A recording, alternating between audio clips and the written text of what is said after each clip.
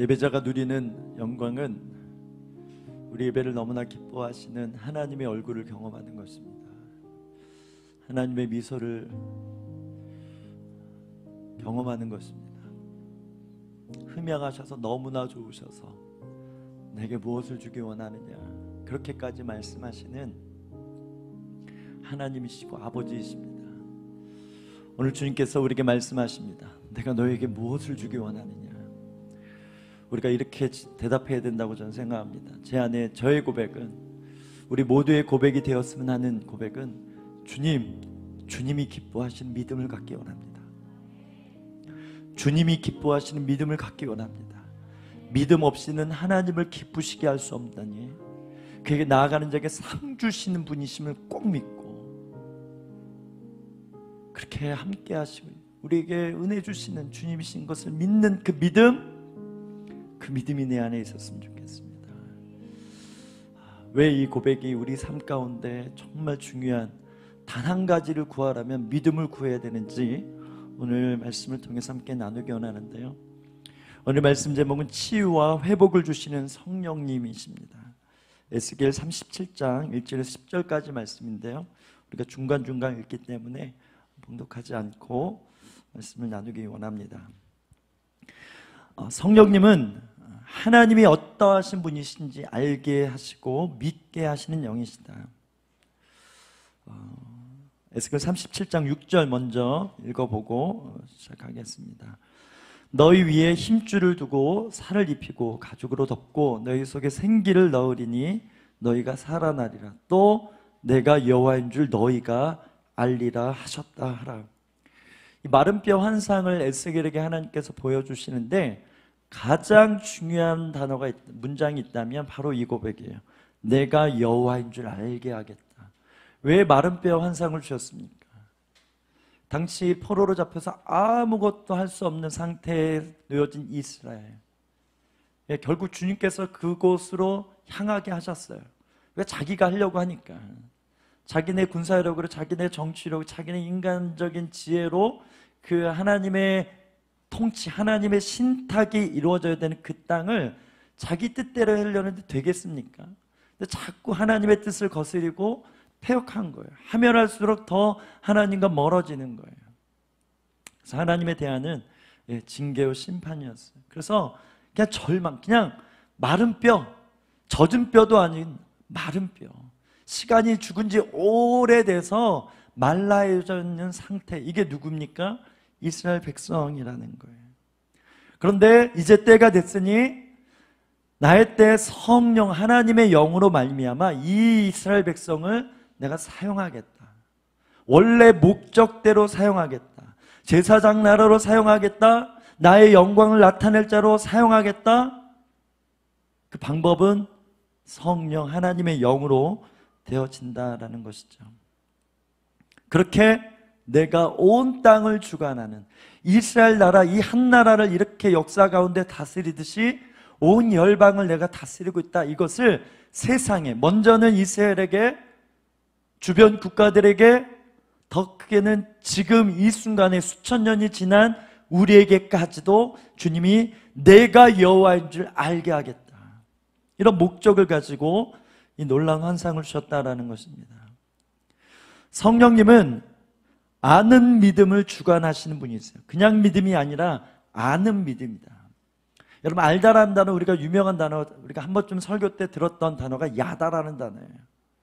서로 경험해서 알다. 여러분 믿음은 어떤 지식의 혼의 레벨의 지식이 들어간다고 해서 믿음이 일어나지 않습니다. 혼의 지식, 감정, 의지 이것은 다만 통로일 뿐이에요. 그래서 이 혼의 지식을 통해서 결국 어떻게 우리의 중심, 우리 영에 이르지 않으면 참된 믿음에 이를 수 없었어요. 그들이 말씀이 없었습니까? 여러분 이스라엘의 상태가 좋을 때는요 그 믿음이 중심에 이르렀기 때문에요. 1세대에 그렇게 많은 기적을 경험했지만 광야에서 하나님을 원망해서 다 죽었어요.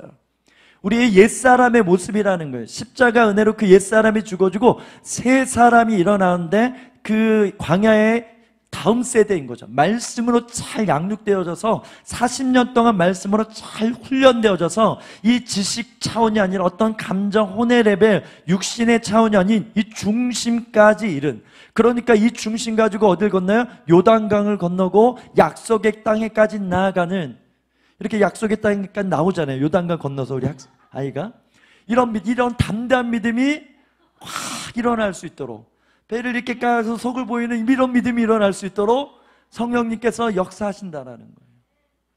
배가 중요하다는 거죠. 배 잘 들었다 너야. 너 진짜 너 감동이다.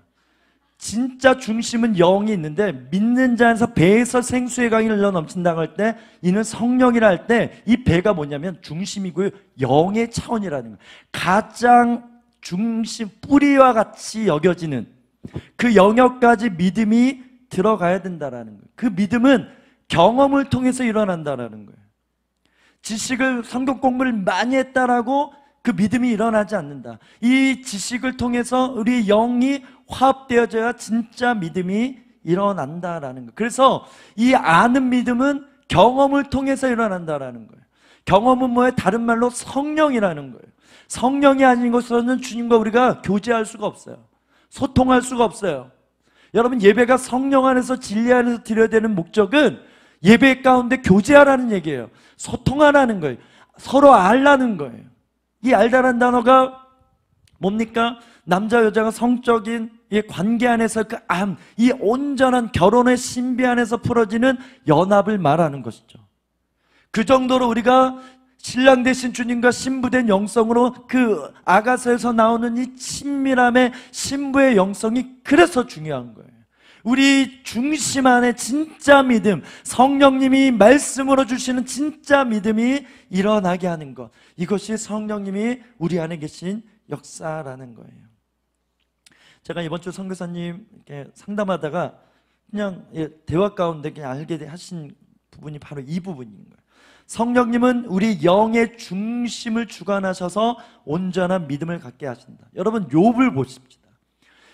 모든 재산을 예, 자녀까지 죽어주고 예, 심지어 병까지 걸리는 엄청난 인간이 당할 수 있는 최고의 고난을 당한 사람이 누구예요? 욥인데요. 그가 뭐라 얘기하는지 아세요?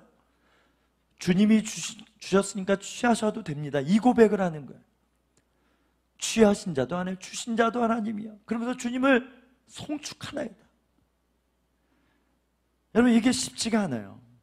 우리 조금만 어려워도 우리가 원망이 올라오고 하나님 탓하려는 이런 죄성이 올라오잖아요. 그런데 여러분 그 상황에서도 약간 뭐 이렇게 원망했다 다시 돌아 이런 게 아니에요. 그냥 즉시로 영의 고백이 일어나는데 욥이 그 중심에서 하나님이 주신 하나님이 아셨거든요. 욥은 축복 주셨으니까 어떤 조건적인 믿음이 아니라 하나님 볼 때 이 영의 중심에서 일어나는 믿음인지 알았어요. 그래서 자랑하다가 사단이 해가지고 고생했잖아요. 하나님 책임이에요. 네. 근데 그런 시련을 그 많은 친구들의 영적인 공격이죠. 사단이 우리의 생각, 부정적인 생각, 잘못된 예, 진리가 아닌 비진리. 근데 교묘하게 끝만 다른 진리 같은 것으로 끊임없이 여러분 욥기가 얼마나 길어요. 그죠? 그 수많은 공격을 받으니까 무너지기 시작하는 거예요. 그래도 나중에 칭찬하죠. 그래서 욥의 믿음, 욥의 믿음 때문에 친구들이 예, 하나님 용서해 주는 그런 자비가 욥기에서 풀어지는데 뭘 말하고 싶은가? 욥 안에 이 진짜 영의 믿음이 있었다라는 것입니다.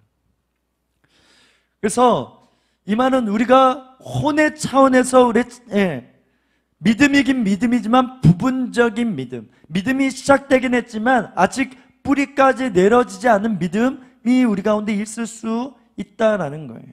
얕은 믿음. 예, 그 증거가 가론 유다를 통해서 드러났어요. 또 베드로를 통해서 검증이 됐어요. 여러분 가론 유다 안에도 믿음이 있었죠. 죽은 자가 살아나는 현장에 있었고 많은 기적, 예, 병이 낫고 악한 영이 떠나간 영의 실체까지도 봤던 가론 유다인데 그가 왜 예수님을 팔았습니까? 그 믿음이 중심까지 이르지 않았다라는 증거라는 거예요. 그런데 베드로를 보십시오. 베드로도 비슷하지만 그는 뭘 했냐면 회개를 했어요. 회개. 여러분 회개가 열쇠입니다. 여러분 우리 지식 우리가 아는 성경 공부하면서 아 이렇다 저렇다 오늘도 이 원리를 여러분에게 전하는데 여러분의 이성으로 그것을 이해하고 아 이런 거구나 받아들이고 있는데 이 믿음이 베드로에게 있었는데 이 믿음이 어떻게 중심으로 가는가 회개라는 거예요. 회개적인 삶으로 계속 성령님께 의뢰하고 나를 부인하고 성령님께 내어 맡기는 그 믿음이 누구에게 있었다? 베드로에게 있었다.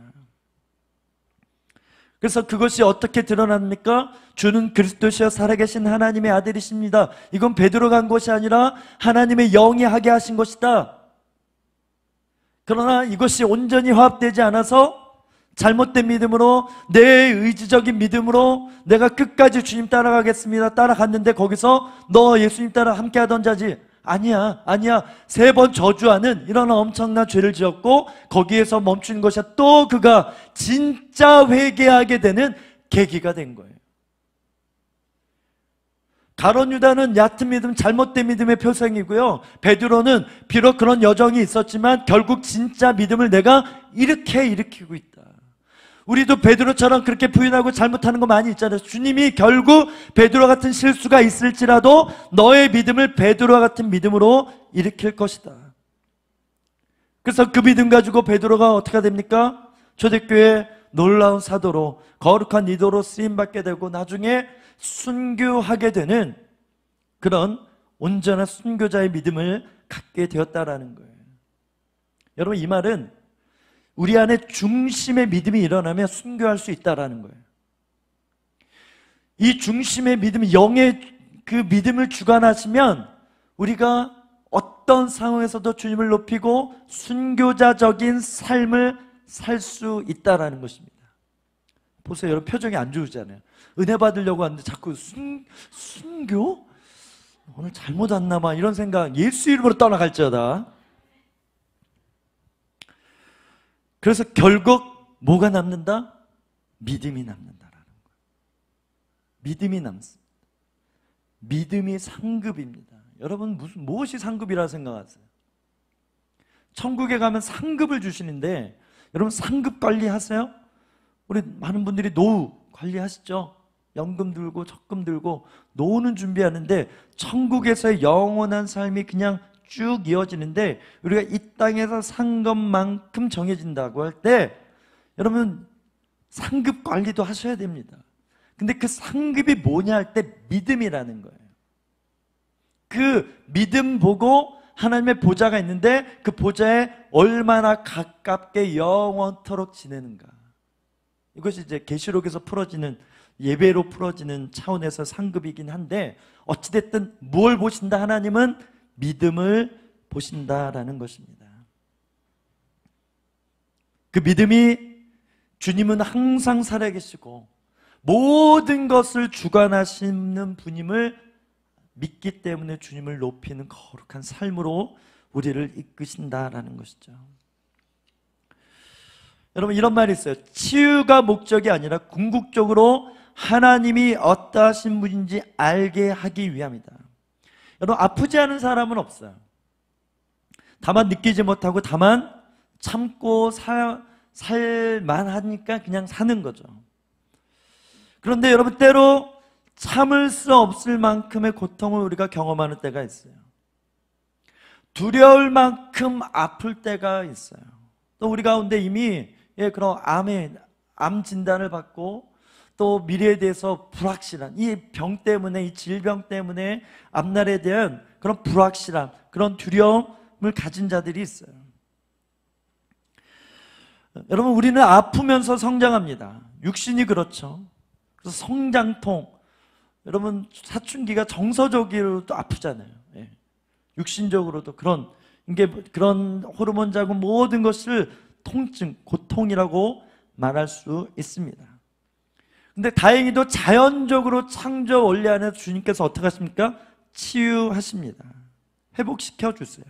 근데 문제는 그렇게 회복되면 좋은데 문제는 자연적으로 치유되지 않은 영역들도 있다라는 거예요. 육신도 그렇고 특히 마음의 영역도 그렇다라는 거예요.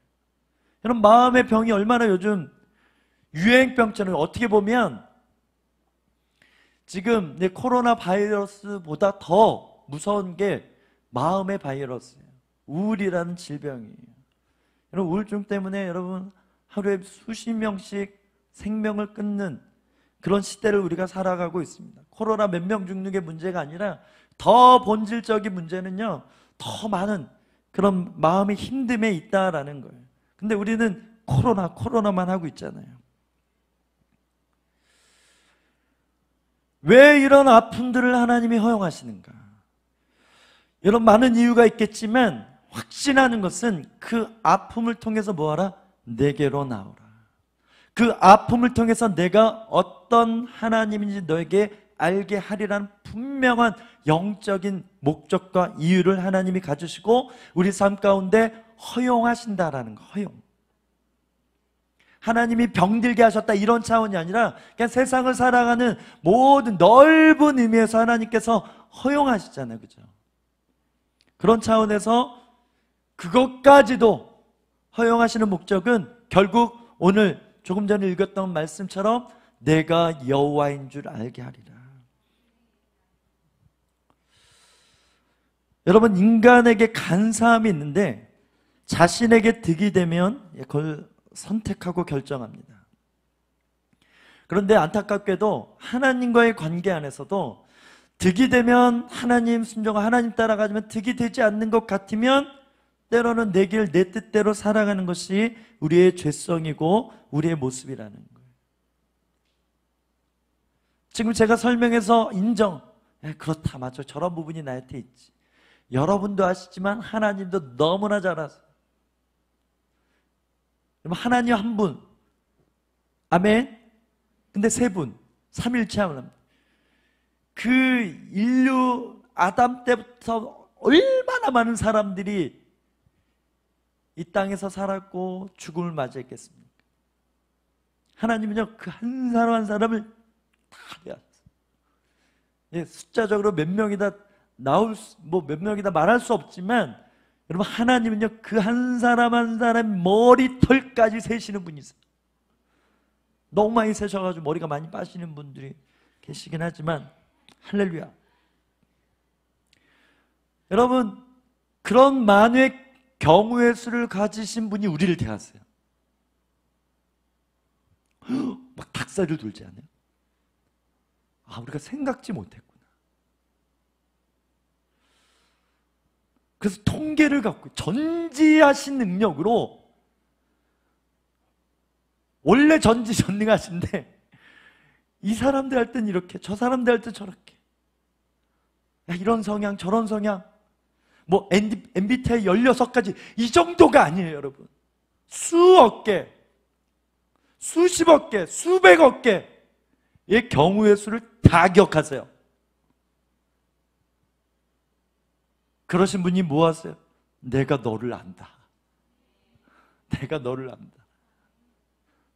나는 맞춤형이다. 너에게 맞도록 그렇게 대할. 이런 놀라운 은혜를 저희가 경험하고 있습니다. 그래서 우리 안에 이런 간사함이 있다는 걸 주님이 너무나 잘 아셔서 뭘 하시는가? 테스트를 하세요. 테스트. 대표적인 게 이제 아브라함이죠. 여러분 아브라함은 성경에서 굉장히 중요한 인물입니다. 왜냐하면 특히 로마서와 갈라디아서에서 우리가 오늘도 중요하고 강조하는 이 믿음의 표상, 믿음의 조상, 열국의 아미다 할때 맞아요. 그 육적인 이스라엘이 아브라함의 자손이잖아요. 영적인 자손이 우리잖아요. 영적인 이스라엘. 여러분 우리도 지금 이스라엘에 지금 전쟁이 막 일어나는데 여러분 그런 육적 이스라엘 유대인은 아니지만 영적인 차원에서 지금 이스라엘을 위해서 뭐 해야 됩니까? 교회해야 됩니다. 기도해야 됩니다. 중요합니다. 마지막 때 이스라엘의 역사가 굉장히 중요하거든요. 그래서 뭔가 하나님이 뭔가 계획하심이 다 할 수 없지만 그래서 기도를 해야 된다고 해서 또 그 땅을 향한 마음을 또 영적인 선지자들이 받아내서 또 전해줘서 함께 하나님의 뜻을 위해서 기도해야 된다고 생각됩니다. 어찌됐든 이 아브라함이 중요한 이유는 믿음 때문에 그래요. 아브라함이 가졌던 믿음 때문에 그런데 하나님께서 온 세상을 축복하시고 그 중에 메시아가 태어나게 하실 민족으로도 여러 가지 경우에 성경에 나온 우리가 성경 공부하면 하는 많은 지식들이 다 아브라함의 믿음에서 시작됐는데 그토록 중요하다라는 거예요. 그래서 하나님이 다른 사람들보다 아브라함의 믿음을 일으키는데 굉장한 하나님의 열심을 행하시는 것을 보게 됩니다. 말도 안 되는데 축복하시고 말도 안 되는데 막 보호하시고 환상을 주시고 다양하게 이 아브라함의 믿음이 일어나는 그 한 가지 목적을 위해서 얼마나 열심히 오늘 찬양한 것처럼 비록 내게 보이지 않아도 내가 느껴지지 않아도 하나님은 일하시네 일하시네 주님 이 찬양의 고백 그대로가 아브라함의 인생이었다라는 거예요. 그래서 22장까지 옵니다. 우리 22장 12절 읽어보십시다. 시작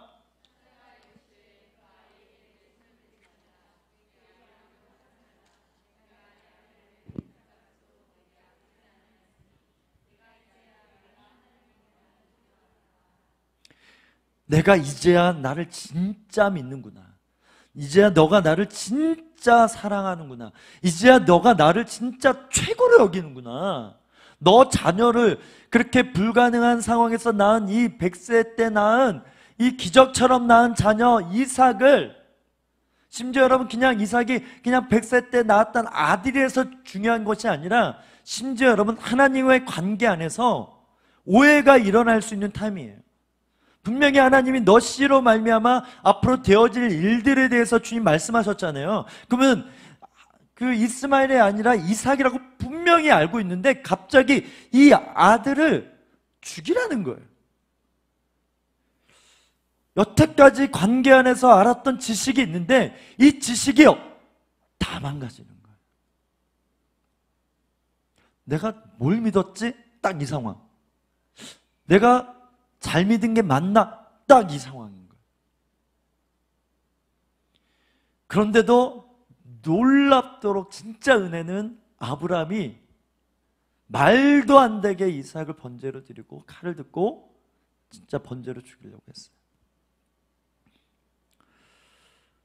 그래서 우리 모든 믿는 자들이 모든 세상 사람들이 믿음은 이런 거구나. 저렇게 믿어야지 하는 진짜 믿음이 일어났다는 거예요. 그러니까 쉽게 얘기해서 하나님이 내 생의 최고이십니다. 하나님이 내 생의 모든 가치이십니다. 내 인생의 목적이고 전부이고 모든 것입니다. 우리가 예배 때 드려지는 많은 고백들 있잖아요. 나 무엇과도 주님을 바꾸지 하늘이 아브람 다른 어떤 은혜 구하지 않을 아브람 여러분 이 고백을 아브람이 한 거예요. 다시 말해서 우리가 그냥 아무 생각 없 아무 생각 없진 않죠. 예. 예, 그 감정을 담고 집중해서 부르는 이 고백이요. 이런 믿음이라는 거예요. 여러분 하나님이 여러분에게 바라시는 믿음이 있는데 무슨 믿음인가? 오늘 아브라함에게 바랬던 믿음인데 주님 다른 어떤 축복 심지어 내 질병이 낫지 않아도 주님이면 됩니다. 내 목에 칼이 들어와도 순교 두렵긴 한데 그렇게 불러주셔도 하나님이면 됩니다. 내가 100년은 모세처럼 120년 살고 싶지만 40년 살아도 30년 살아도 20년 살아도 심지어 내 자녀가 20년 살아도 나보다 먼저 죽어도 주님은 나의 최고이십니다. 이 믿음인 거예요. 주님이 여러분에게 말하시는 믿음은 내 자녀가 잘 될 줄 믿습니다. 내 사업이 잘 될 줄 믿습니다. 이 정도의 믿음이 아니라는 거예요. 예, 사명을 위해서 그 믿음도 필요한데, 진짜 믿음. 요즘 말 찐. 찐, 찐, 찐. 진. 이상진, 참진. 네. 진짜 믿음을 갖기 원합니다. 서로상 여러분 서로상 지금 제가 그 제 이름대로 살아고 있는 거예요. 서로 진짜 믿자라는 거예요. 하나님이 우리에게 말씀하세요. 제 이름대로 상진아 할 때 서로 진짜 믿자. 너 진짜 나 진짜인데 너 진짜냐? 아브라함은 진짜였어. 너 진짜다 너. 12절 말씀 그거라니까. 야 너 진짜구나. 이제 알았다. 봤지? 이걸 하신 거예요. 온 인류 할 때 주님 오실 그날까지 태어날 모든 사람들에게 아브라함 믿음 맞지? 줄서 아브라함처럼 믿어야 돼. 아브라함처럼 믿어. 욥처럼 믿어야 돼. 베드로처럼 믿어야 돼. 어떻게 감히 내가 예수님처럼 정상적으로 머리가 위에 올라가도록 십자가 달릴 수? 저는 거꾸로 매달리겠습니다. 역사적인 근거로 말하잖아요. 이 믿음. 결국 이 믿음을 목표점으로 짓고 우리가 그 방향을 가지고 살아야 된다라는 것입니다. 그래서 때로는 아픔을 주신다라는 거예요. 우리 에스겔 37장 1절, 2절 말씀입니다. 같이 읽어보겠습니다. 시작.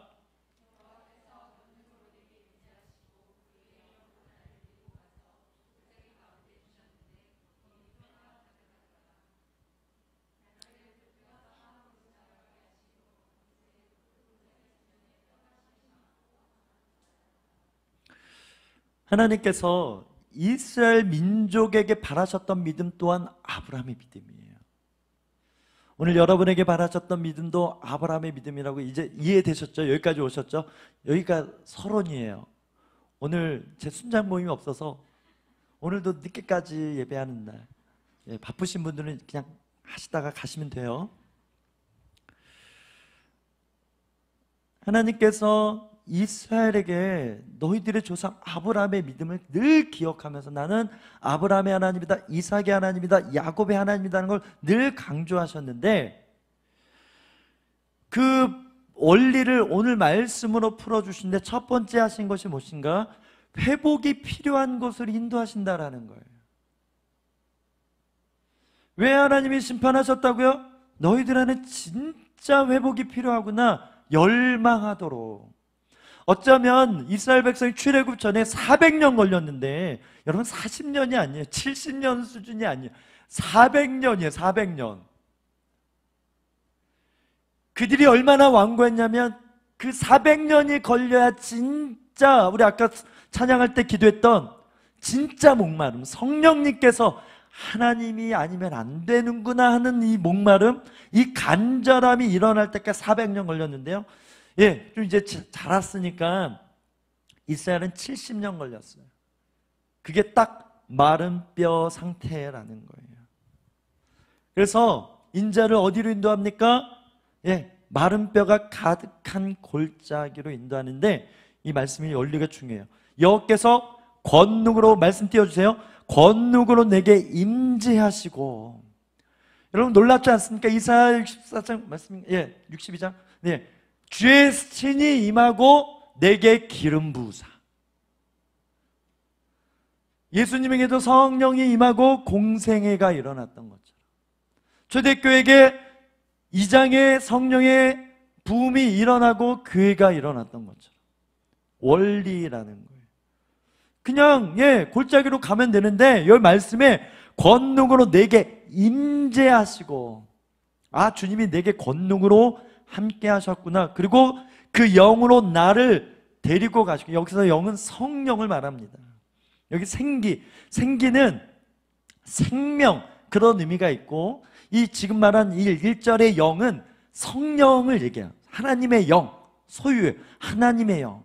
그런데 학자들이 뒤에 생기도 결국 성령이시다. 이렇게 보면 되는 거예요. 예, 맞아요. 그래서 그 성령이 인자를 데리고 가는데 뼈가 가득한 뼈가 가득한 곳으로 데려가신다라는 거예요.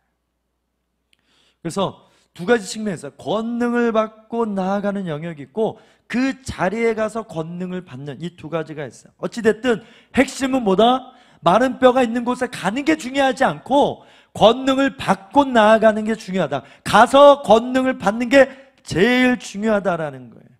이것이 시작이라는 거예요. 이게 열려야 그 다음, 다음, 다음이 열린다라는 거예요.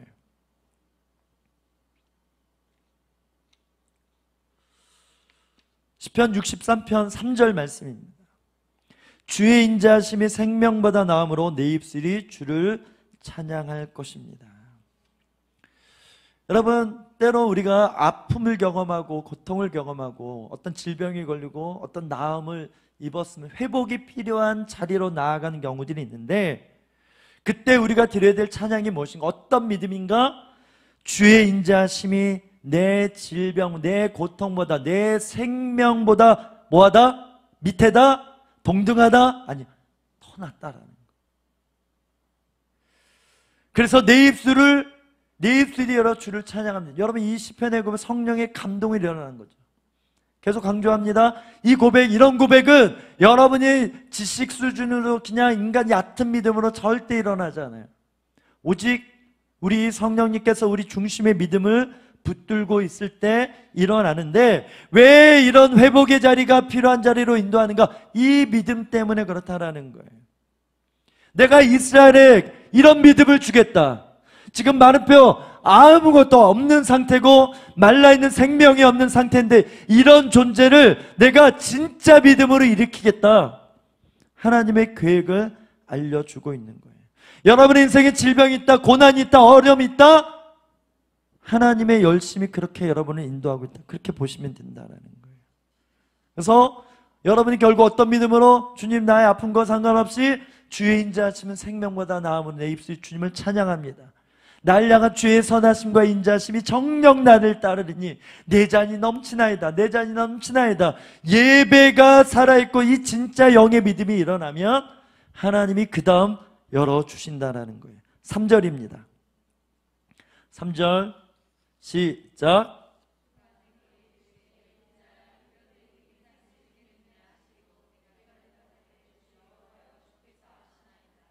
질문하시는 이 뼈들이 능히 살 수 있겠느냐? 제가 오늘 이 말씀을 준비하면서 훅 들어온 말씀이 있어요. 좀 더 검증이 필요하긴 한데 살 수 있겠냐? 물어보시더라고요. 말씀의 근거는 살수 있죠, 주님.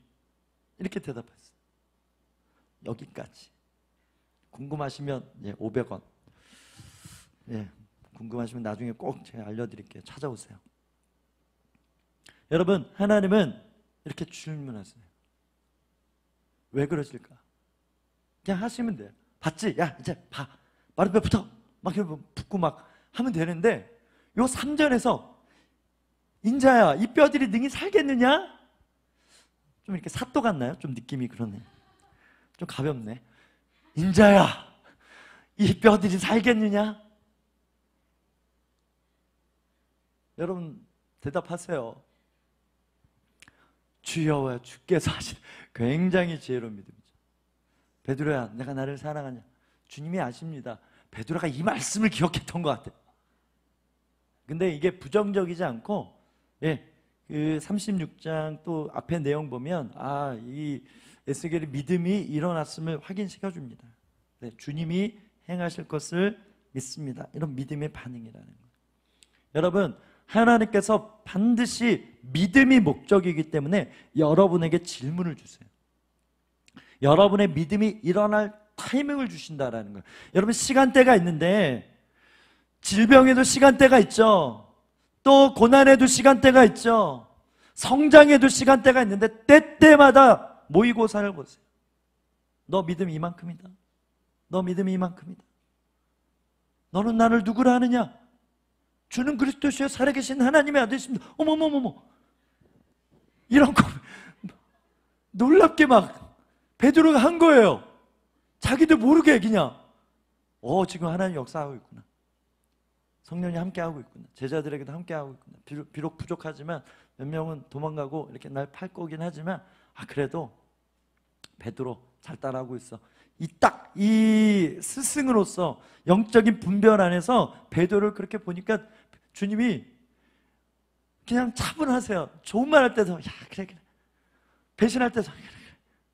다 하시니까 그런 것처럼 여러분의 믿음을 주님께서 다루신다고 할 때, 진짜 믿음으로 인도하신다고 할 때, 하나님이 때때마다 너 이거 어떻게, 어떻게 했으면 좋겠니? 이렇게 물어보세요. 너는 이걸 어떻게 보고 있니? 주님이 먼저 주님의 말씀 하시기 전에 우리 믿음을 보신다라는. 제가 그게 딱 왔다라는 거 오늘.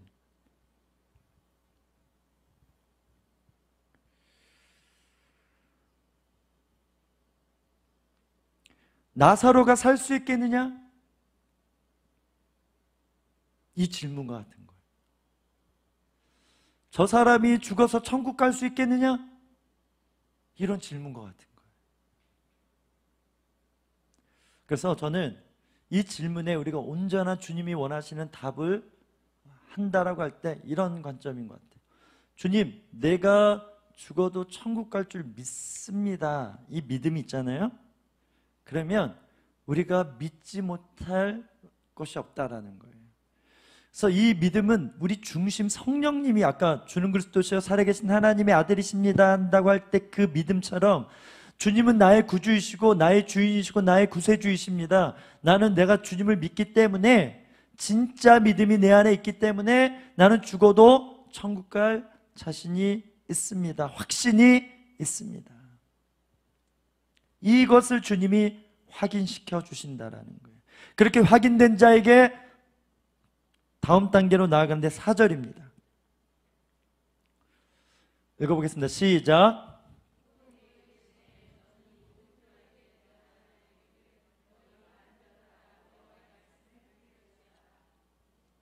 이제 구체적으로 이제 주님이 가르쳐 주세요. 너는 이 모든 뼈에게 대어나라. 이르시기를 너의 마른 뼈들아 여호와의 말씀을 들을지니라. 주님이 가르쳐 주시고 행합니다. 저는 이 모습이 여러분의 모습이 되길 주의로 축복합니다. 제가 운동했잖아요. 그래서 처음에 이제 야구 하다가 어, 야구부가 없는 중학교 갔더니 운동부가 유도랑 핸드볼부였다 그랬잖아요. 유도는 체질이 안 맞는 것 같고 어, 공은 또 다뤄보니까 재밌는 것 같고서 핸드볼 했는데 가자마자 저 벽에다 대고 계속 이것만 돌렸어요. 공을 던질 때 사람들이 보통 이렇게 던지기도 하고 각자 폼이 있어요. 제가 우리 교육자 우리 차세대 또 우리 어른 어, 교육자 야구팀이 있는데 거기서도 보면 공을 던질 때 막 이렇게 던지는 사람이 있고 다 하더라고요. 이렇게 이렇게 던지면 되는데 이렇게 막 이렇게 저 사람 웃기려고 하나 그렇게 웃긴 표, 폼으로 던지는 사람이 있는데 뭐 저도 뭐 어렸을 때 그랬겠죠. 그러니까 딱 핸드볼 선수 하려면 폼이 멋있어야 돼. 공을 던질 때는 이렇게 해야 돼. 그러니까 이게 이렇게 가지 않고 이렇게 던질 수 있게 벽에다 대고 어깨에 대고 계속 이렇게 던지는 훈련만 했어요. 그러니까 폼이 교정이 되더라고요. 폼이 멋있어지더라고요. 여러분 성령님이 우리의 믿음을 일으킨다고 할 때 코치로 믿음은 이런 거야 저런 거야 가르쳐 주시는 영역들이 있어요. 근데 한 번에 되지 않아요. 작은 거부터 믿음은 이런 거야 하나 행하고 해보고 해보고 해보고 해보면서 진짜 믿음이 일어난다. 지금 그것을 지금 사절에 하고 있는 거예요. 그 믿음이 있다는 증거가 뭐라고요? 오늘 사절에 한 단어가 나오는데 내게 이르시되 너는 이 모든 뼈에게 이스라엘을 대어나요. 대어나요. 선포하라는 거예요. 하나님의 말씀을 그대로 전하라는 것이죠. 두 가지 영역이 있어요. 그냥 확실하지 않은데 내가 그냥 믿음이 있어서 주의 말씀에 근거해서 선포하는 믿음이 있고 레마로 받아서 좀 이거는 좀 이렇게 성령님과 친하고 성령의 감동이 받는 훈련 받는 사람들 특히 지긴 나눴지만 선지자의 기름 부음이 많은 사람들은 어떤 말씀에 근거하지만 어떤 상황에서 그냥 훅 주시는 지식, 감정, 감동을 가지고 아, 이 말을 해야 되겠다. 저 말을 해야 되겠다. 이렇게 살아가는 사람, 성령의 사람들이 있어요. 영적인 민감함, 은사가 열리고 하나님께서 주신 축복이죠. 다 하나님의 교회 성도들을 위하라고 주신 은사입니다. 이 두 가지 차원인데 어찌됐든 분명한 것은 하나님이 의지가 있어서 너 내가 전하는 이 말을 그대로 전해. 요게 키라는 거예요. 그래서 우리 안에 진짜 치유에 믿음, 제가 치유 사역하고 대적 기도할 때 어떤 믿음으로 하는가? 그냥 어떤 말, 내용도 있지만 이 내용이 어떤 것에 근거하는 게 이게 중요하다라는 거예요. 예수님이 채찍에 맞으심으로 나음을 입었다. 주님이 이 영혼을 사랑하신 것 분명하기 때문에 낫고 안 낫고 두 번째 문제. 내 쓰임 받는 제 입장에서는 선포하는 것. 예수님이 치유하십니다. 예수님이 고치십니다. 나사는 예수 이름으로 먹으니 무슨 무슨 영은 떠나갈지어다. 그것은 제 믿음이라는 거예요. 하나님이 여러분에게 그 믿음, 너가 죽어서 천국 갈 믿음이라면 누구나 이 믿음을 가질 수 있다. 내가 이 믿음을 성령을 통해서 주관하는 것을 보여줄게. 이런 놀라운 계획하심이 있다는 거예요. 그래서 제가 잠깐 오픈하면 치유기도나 어, 대적기도 축사할 때 솔직히 어떤 역사가 일어나는 건 별로 중요하지 않아요. 거기까지 가야 되더라.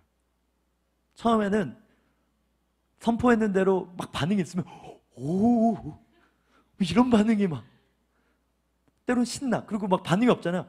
아, 왜 뭔가 문제가 있나 이런 때가 있었어요. 현상이 중요한 거예요. 근데 어느 순간에는 계속 하면 할수록 또 말씀을 기도하면서 하나님께서 알려주신 것은 그 상태와 상관없다. 너의 믿음이 중요한 것이다. 나는 너의 믿음을 보고 하는 것이지 어떤 환경, 증상, 어떤 표현, 반응을 보고 내가 고치는 것이 아니다. 이 비밀을 알게 하셨어. 그래서 하지 못할 기도가 없고 선포하지 못할 기도가 없는 그런 삶을 살게 되는 거예요. 저는 여러분이 이런 믿음을 갖길 주는 축복합니다. 여러분의 고난을 향해서, 여러분의 질병을 향해서, 심지어 주변의 아픈 자들을 향해서 그 믿음을 가지고 여러분의 입술 가운데 대언하라, 기도하라, 선포하라 할 때 여러분의 입술이 오늘 인자의 고백이 되어서 하나님의 생기를, 하나님의 생명을, 하나님의 능력을, 하나님의 권능이 풀어지는 시작점으로 하나님은 사용하길 원하신다라는 하나님이 부흥을 주실 때 이런 사람들을 많이 일으킨다라는 거예요. 한 교회를 일으킨다고 할 때 이런 일들을 많이 주신다라는 거예요. 제 말이 아니에요. 성경에 말하는 것. 예수님 왜 병을 많이 고치셨을까요? 왜 병자를, 여러분 왜 귀신을 그렇게 많이 쫓아주실까요? 많은 사람은 아니지만 그래도 왜 나사로를 살리셨을까요? 나사로야 나오라! 이 한마디였어요. 진짜 나왔어요. 이 삶의 원리가 있다라는. 여러분 왕 같은 제사장인데 여러분 왕 같은 제사장의 사명을 어떻게 감당하고 있습니까? 저는 왕족이 아닌데요. 뭐 이러면 드라마를 많이 보신 분이고 여러분 영적으로 우리는 하나님의 자녀된 권세를 받았고 베드로전서 2장 9절에 분명히 말하 너는 내 나라다. 나는 널 택한 족속이다. 여기서 끝나지 왕 같은 제사장이다. 오늘 사자와 어린 양 찬양했잖아요. 사자와 어린 양. 사자는 왕이고요. 어린 양은 제사장의 사명이 누구에게 있다? 예수님에게 있다. 우리가 그 어린 양을 따라가는 하나님의 자녀라면 이 왕의 사명, 이 제사장의, 제사장의 사명이 우리에게 있는데 여러분 예전에 의사가 어디 있습니까? 다 제사장들 찾아갔죠. 또 신령한 능력이 나타나서 많은 질병을 제사장들이 고쳤어요. 영적인 리더들이 고쳤다라는 거예요. 우리 안에 그 부르심이 있는데 우리 안에 이 부르심을 무엇으로 감당하는 어떤 믿음으로 감당하는가? 선포하는 믿음이라는 거예요. 선포하는 믿음. 우리 5절입니다. 같이 읽어볼게요. 시작.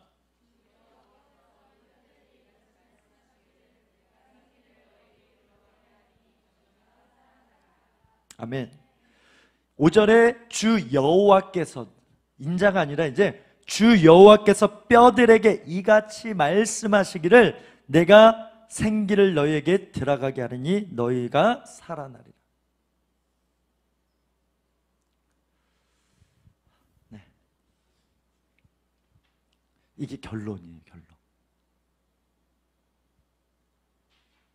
여러분이 성령님께서 주시는 믿음을 가지고 선포했는데 여러분의 입술의 고백으로 끝나는 것이 아니라 5절에 하나님도 똑같이 여러분이 하는 고백을 하고 계세요.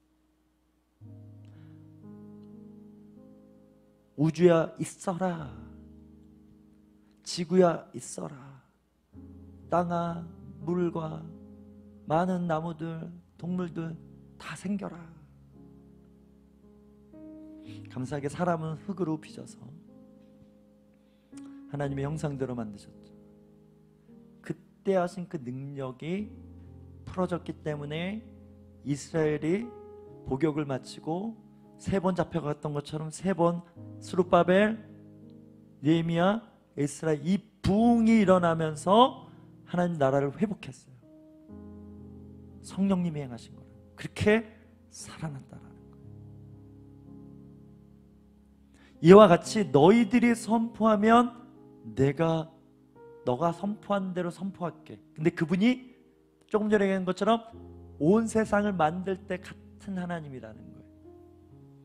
여기까지 믿어야 진정한 믿음이 우리 안에 일어납니다. 근데 훈련이 필요해요. 해보니까 훈련이 필요해요. 아브라함의 믿음을 그렇게 관리하셨던 것처럼 하나님이 저의 부족하지만 너 여전히도 부족하고 보잘것 없지만 제 작은 믿음 이 겨자씨만한 믿음도 주님이 주관하셨어요.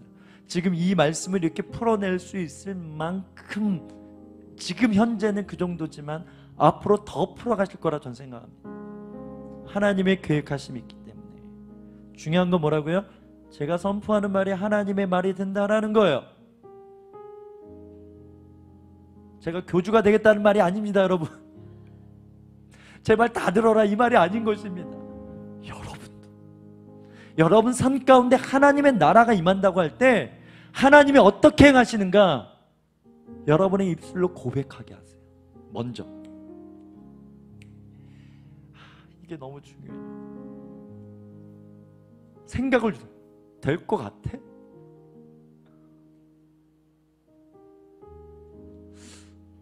왜 이런 일이 일어났지? 우리 다음 주 정도에 나누게 될 내용인데 성령님께서 우리 삶 가운데 어떻게 말씀하시고 하나님의 음성을 듣고 반응한지 그런 내용인데 오늘 같은 경우도 제가 오늘 원래 다른 주제거든요. 근데 갑자기 기도하면서 치유에 대해서 좀 해야 되겠다. 근데 갑자기 우리 스텝 중에 한 분이 목사님 지지난 지난주가 지지난주에 앞에 나와서 기도받았던 분이 손에 물집이 많아서 수면과 고생했는데 기도받고 나았어요. 사진까지 너무 깨끗한 손을 보여주셨어요. 하, 라는 거구나. 하라는 거구나. 그래서 열심히 오늘 이 지금 한 시간 넘게 어떤 내용이 아닙니다. 제 안에 있는 제 안에 있는 하나님께서 수년간 수십 년간 알게 하신 그 진짜 믿음을 정리하게 해주셨고 오늘 나누고 있어요.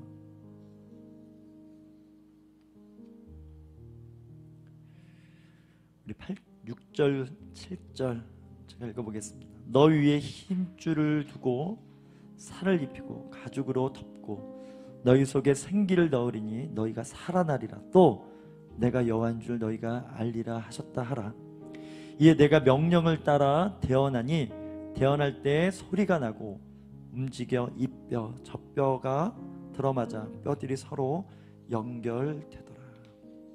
제가 요즘 보고 있는 것입니다 뼈들이 막 연결되고 있어요. 여러분 놀랍습니다. 막 살아나고 진짜 믿음이 일어나고 진짜 하나님을 만나고 기도가 연결되어지고 심지어 꿈이 연결되어지고 삶이 성령님 한 분이시잖아요. 제 안에 계신 성령 여러분 안에 계시듯이 이런 예배 안에 영적 연합이 일어나듯이 믿음의 공동체 안에 그냥 같이 교회를 다닌다 정도가 아니라 영의 교통하면 이런 거구나. 나에게만 말씀하시는 것이 아니라 저 사람에게도 말씀하시는구나. 이런 다이나믹 와 성령님 진짜 살아계신 거 맞네. 나의 삶 꽉 붙들고 계신 거 맞네. 내 삶에 하나님의 영광을 드러내는 게 맞네. 부인할 수 없을 교만할 이유가 전혀 없고 방황할 이유가 전혀 없는 너무나 명확한 불기둥과 구름기둥이 있기 때문에 신나는 진짜 믿음이 일어나는 거예요. 진짜 제가 죽을 뻔했거든요. 기도 사역하고 가다가 앰뷸런스 앞에 쭉 가길래 그냥 어나는 막 얘기하면서 가는데 사거리에서 파라불인데 그냥 앞차가 앰뷸런스니까 그냥 모르고 그냥 따라갔어요. 좌회전 막. 저도 좌회전 한거 있다. 파란불인데 기흥 그 AK몰 앞에 그 사거리에서. 파방! 받았으면 그냥 네, 속도를 줄이지 않았기 때문에. 간담이 서늘한 게 이런 거구나. 그 몇 초? 그 사람이 저처럼 누구랑 이야기하고 있으면 그대로 받는 거예요. 속도 안 줄이면 그냥 맞는 거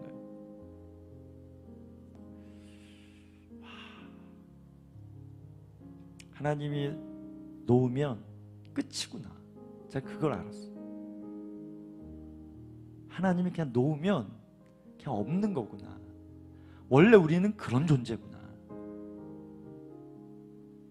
근데 보세요. 이스라엘 백성 끝까지 안 놓죠. 지금도 안 놓으세요. 그러니까 막 전쟁하는 거예요. 지금. 수많은 사람들이 이스라엘 위해서 기도하는 거예요. 이런 열정을 가지고 여러분을 대하고 계세요. 주님 말씀은 너 내가 너 편이다. 너의 믿음을 내가 주관하고 있어. 실망할 필요 없어. 너의 질병도 내 거야. 난 전지전능한 하나님이야. 내가 너에게 원하는 것은 이 믿음을, 이 나음, 이 고난, 이 어려움을 넘어선 진짜 믿음, 그것을 내가 원해. 그 믿음을 갖는 게 생기야. 생기가 왜 들어가야 되느냐? 너 그냥 병 나서 너 이 고난이 해결돼서 문제가 해결돼서 와 주님 이제 살만해요. 그러면서 또 죄지러 가는 이 모습이 아니라 내가 이토록 고통을 주고 아픔을 주고 내게로 나오라. 이 메시지다. 내가 여호와인 줄 알게 하리라. 이 여호와가 그냥 우리를 수호 천사처럼 지켜주고 잘 되게 해주는 그런 신이 아니라 이 넓은 하나님의 뜻의 섭리 안에서 우리가 왜 이 땅에 태어났고 내가 왜 이런 기질과 내가 왜 이런 달란트와 이런 부모님을 만났고 이런 교회를 다녔고 내게 왜 이런 은사가 열렸고 이 모든 게 해석이 되어지는 이것 때문에 그렇구나. 그래서 상진이구나. 서로 상자 참진이구나. 오늘 풀어줬잖아요. 이런 것처럼. 하나님이 살아계신 게 분명하고 하나님의 이끄심이 분명해서 우리 믿음이 진짜 믿음이 일어나는 거. 그런 믿음을 가진 사람들 오늘 뼈가 맞춰주잖아요. 이게 교회예요, 교회. 그렇게 바로 서 있으니까 사고가 나지 않는 거예요. 막 뼈들이 막 근데 막 여기 정강이 뼈가 막 팔에 붙고 이상하잖아요. 그러면 이런 이러면 이제 성령의 역사 아닌 거예요. 정말 딱 자기가 있어야 될 뼈의 자리가 있는데 우리 뼈가 365개인가 아마 그렇다고 하죠.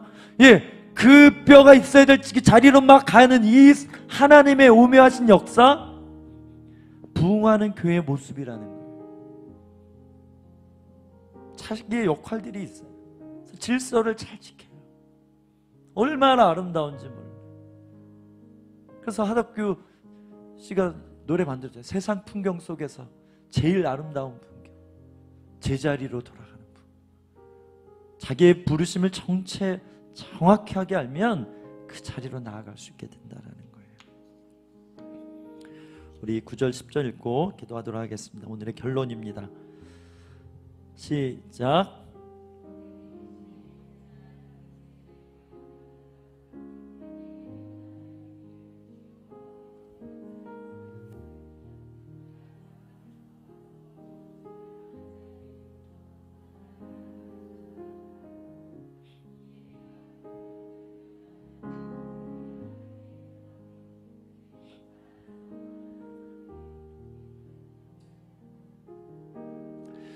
안에 진짜 믿음을 일으킨다고 할 때 성령님께서 꼭 사용하시는 게 뭐냐면 십자가 은혜예요.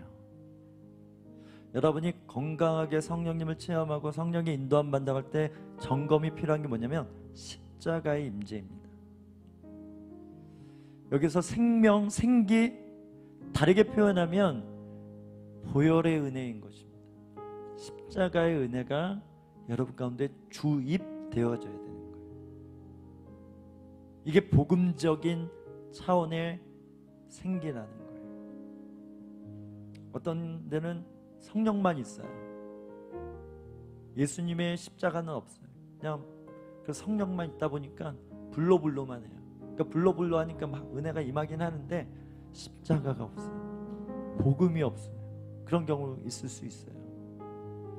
근데 진짜는 뭐냐면 여러분 이스라엘 백성이 결국 뭐의 사명을 감당하는가? 온 세상 가운데 주의 보혈의 은혜에 강물이 일으키는 예, 물줄기가 돼야 되고 여러분 나라 보면 물줄기가 뭐예요?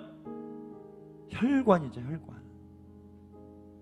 우리나라가 왜 발전했다고요? 유통이 잘 되니까. 경부고속도로 고속도로를 잘 뚫어놓으니까 서로 소통이 잘. 그러면서 경제가 발전하기 시작해. 똑같은 원리라는 거예요. 혈관이 건강해야 우리가 많은 질병에서 자유케 되는 것처럼 여러분 영적인 혈관이 바로 여러분입니다. 여러분의 믿음이 열려야 여러분을 통해서 이 은혜들이 흘러가게 되는데 성령의 임재와 기름 부음일 뿐만 아니라 보혈의 은혜, 십자가의 은혜가 여러분을 통해서 흘러가게 된다는 거예요. 여러분의 섬김이 그래서 예수님의 사랑이요, 예수님의 은혜의 물결이 될 수 있는 것이죠. 또 여러분이 전하는 그 내용 자체도 여러분이 경험한 그 십자가 임재를 여러분 삶 가운데 관계 안에서 풀어낼 때 하나님의 역사가 그렇게 복음의 안에 능력 안에서 일어난다고 믿습니다. 성령 안에서 내가 잘 가고 있는 거 무엇으로 분별해요? 십자가 은혜라는 거예요. 그래야 겸손해지는 거예요. 심지어 말도 안 되는 권능이 임하는 삶을 살지라도 또 엎드리고 겸손해질 수밖에 없는 이유는 십자가 그 은혜 때문에. 오늘도 2000년 전에 주님이 살아계신다면 나를 위해서 십자가에 올라가시는 그 예수님의 마음 나를 살리신다고 하면 독생자를 이 땅에 아까 기도한 것처럼 보내시려고 하는 그 마음, 그 심정, 성령님이 그 마음을 경험하게 하셔서 우리 어떻게 하신다? 살리시는데 군대가 되게 하신다. 군대가 되게 하신다. 저는 여러분이 평생 유람선 타고 다니는 사람 되지 않길 주는 축복합니다. 전투함이구나, 전투. 이러다 내가 죽을 수도 있겠다. 전쟁 영화 한번 보십시오. 주인공만 살고 다 죽잖아요. 내가 그 한 컷 나오는 그런 사람일 수도 있겠다. 이게 전쟁이에요. 이것이 진짜 삶이고 진짜 리얼로 다가올 때 하나님의 여러분의 입술을 통해서 분명한 하나님의 놀라운 일들을 행하신다고 믿습니다. 오늘 했던 찬양인데요. 우리 Forever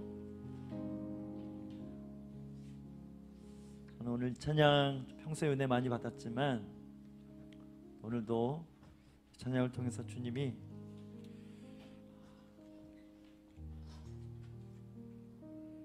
나 자신을 받기를 원하시는구나. 진짜 예배는 나를 드리는 거구나. 영원히 높임 받기에 영원히 영광 받기에 어, 영원히 승리하신 그 주님 사셨습니다. 이 고백하는 것, 이 고백이 나를 살리고 내 주위를 살리고 많은 자들을 일으킬 것이다라는 믿음의 확증으로 함께 고백하며 나아가겠습니다. 저 해와 달가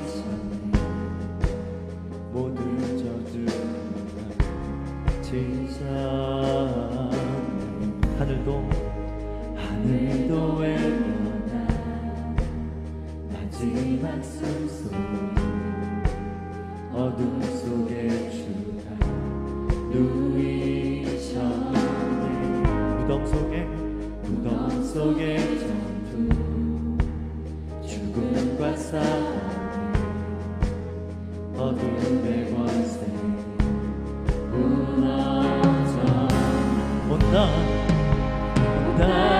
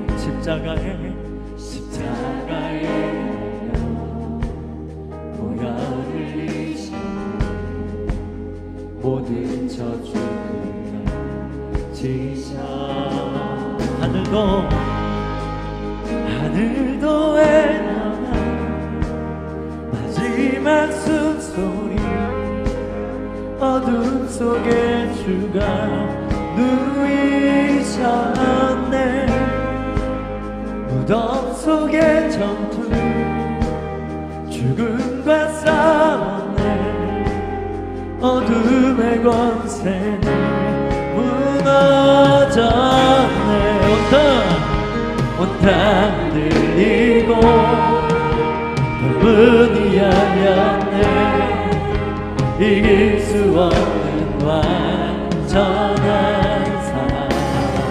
사랑아 사랑아 부하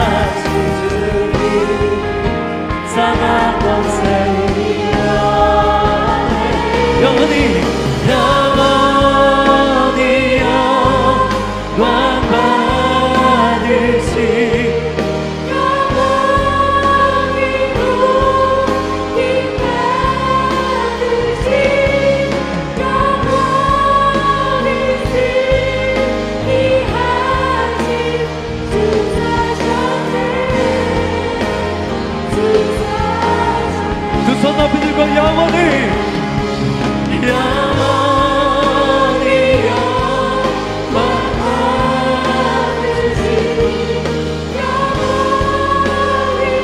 영광 받으실 수 있다 주님이 높이 받으실 수 있다며 주님이 영원히 승리하시는 드러낼 수 있다며 그것으로 족하겠습니다.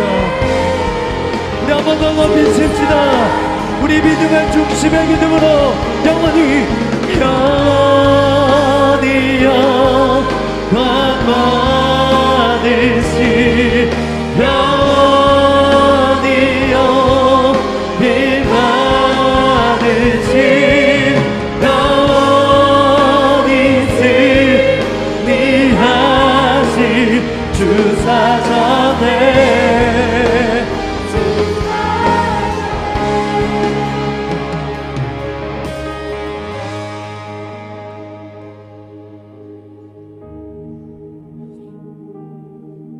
너의 병이 오늘 다해야 될 이유가 있다.